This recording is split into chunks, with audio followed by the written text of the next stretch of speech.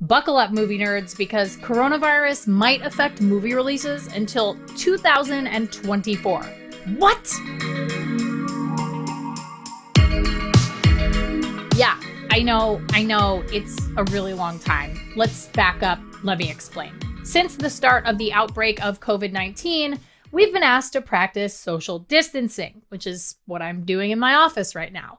Unfortunately, for movie theaters and other businesses that ask patrons to group together in tightly packed rooms, that is not a good thing. It's important to take the pandemic seriously, and movie studios generally have done that. So at first, they canceled red carpet premieres, and as it became clearer and clearer that we needed to all flatten the curve, they started descheduling theatrical releases and also completely shutting down production on movies and TV shows that are recording, filming right now. For a lot of standalone movies that are already in the can, like Disney's live action Mulan remake, for example, that can be really frustrating because we don't really know what's going to happen in the coming months.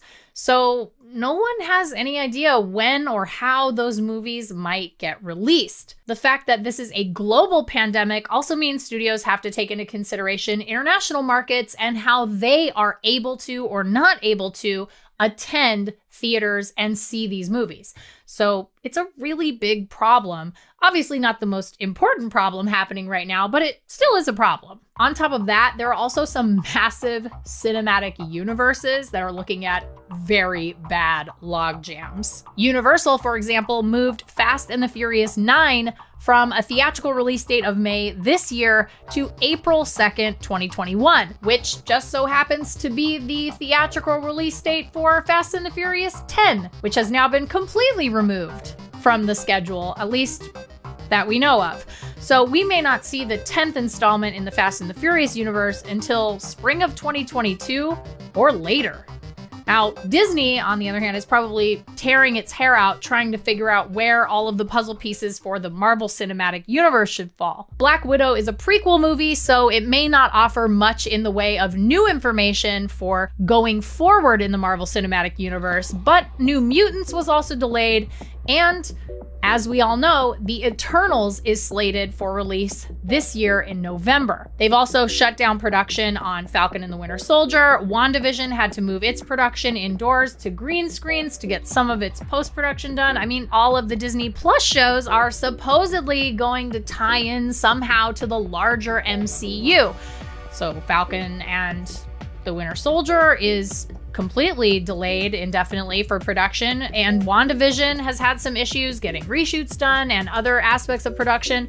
So, if there is anything that any of those shows or the New Mutants or Black Widow needs to say before the Eternals drops, we could be looking at a full six month push of Disney's entire MCU schedule, which stretches all the way to 2023 at this point. That's not even taking into consideration scheduling conflicts, which happen all the time in Hollywood. So you may see prominent directors, actors, writers walk away from roles they had committed to originally because they have committed to other projects in the future that they just can't make work at the same time. So this is sort of a it's kind of a snowball effect, if you can see what I mean. Well, speaking of scheduling, most of these studios have release slates that go on for years and they're planned well in advance. I just mentioned Disney's Marvel Cinematic Universe slate is planned all the way through the end of 2023 and probably into 2024 now. So this could really affect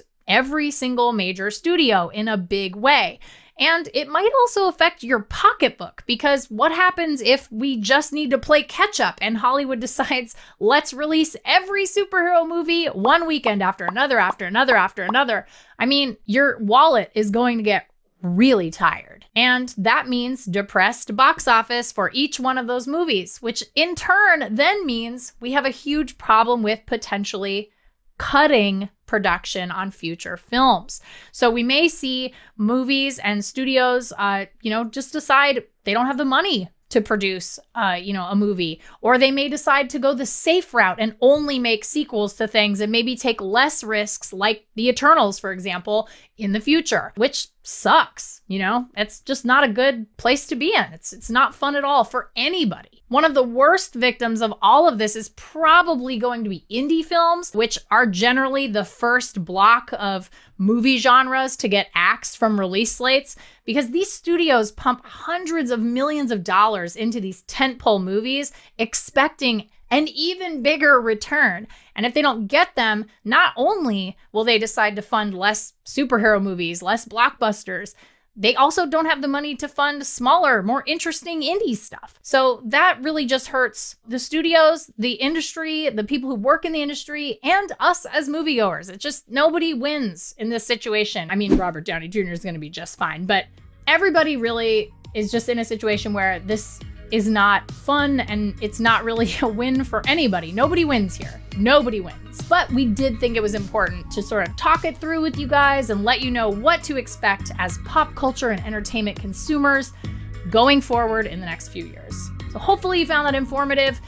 Take care of yourselves, take care of, you know, each other, wash your hands, and I'll see you next time.